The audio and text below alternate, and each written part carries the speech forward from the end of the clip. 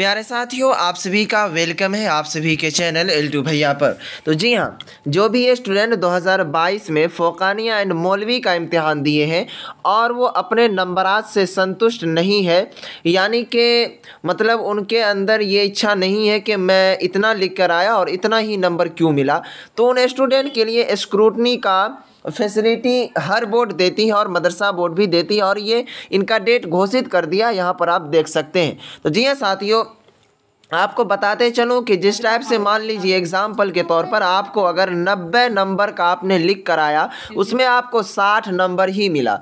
तो उसमें आपको मतलब ये होगा साठ ही नंबर क्यों मिला? तो आप इसके लिए चैलेंज कर सकते हैं कि मैं इतना नंबर का लिख कर आया और इतना ही क्यों मिला? तो जी हाँ और ये भी बात मैं बताते चलूँ कि मान लीजिए कोई फ़र्स्ट डिवीज़न से पाँच नंबर कम है छः नंबर कम है, दस नंबर कम है तो वो भी स्टूडेंट आवेदन कर सकता है। और किस टाइप से आप आवेदन करेंगे, कैसे अप्लाई करना वो सारा प्रोसेस इस वीडियो में मैं आगे बताने जा रहा हूँ। तो चलेंगे साथियों वीडियो को मैं शुरू करूँगा, इससे पहले आपसे एक रिक्वेस्ट है। अगर आप इस चैनल पर पहली बार आए हुए हैं तो इससे इससे रिलेटेड वीडियोस चाहिए तो इस चैनल को ज़रूर सब्सक्राइब कर लें और बेल आइकन को प्रेस कर लें, ताकि आने वाली कोई भी नोटिफिकेशन सबसे पहले आप तक पहुँचे। तो चलिए शुरू करते हैं।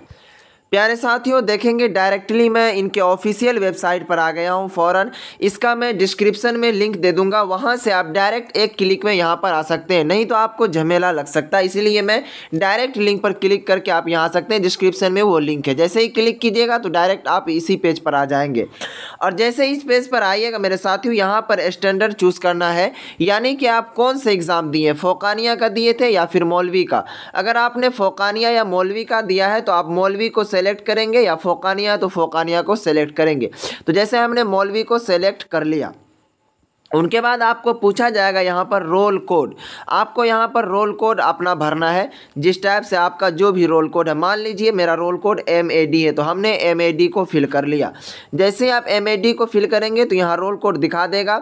उनके बाद इस सेक्शन में यहाँ पर आपको रोल नंबर फिल करना है। जैसे इसमें आप रोल नंबर फिल करेंगे तो उनके बाद आपको आगे जो है, यहाँ पर हमने रोल नंबर फिल कर दिया। उनके बाद यहाँ पर देखेंगे साथियों, सबसे पहले आप समझने की कोशिश कीजिए, आप जो है स्क्रूटनी के लिए सिर्फ़ और सिर्फ़ दो ही सब्जेक्ट में आवेदन दे सकते हैं। दो सब्जेक्ट से अधिक नहीं दे सकते हैं। और यहाँ पर डायरेक्टली लिखा हुआ है कि आपको पर सब्जेक्ट यानी कि एक सब्जेक्ट का अगर आप भरते हैं तो आपको दो सौ रुपये का चार्ज कटेगा। अगर आप दो सब्जेक्ट का भरेंगे तो चार सौ रुपये चार्ज किया जाएगा आपको, यानी कि दो सौ रुपये पर सब्जेक्ट आपसे लिया जाएगा, यहाँ पर लिखा हुआ फ़ी स्ट्रक्चर अब आगे चलेंगे, यहाँ पर लिखा हुआ सब्जेक्ट वन यानी कि आप कौन सा सब्जेक्ट में भरना चाह रहे हैं, आपका कौन सा सब्जेक्ट में नंबर कम है?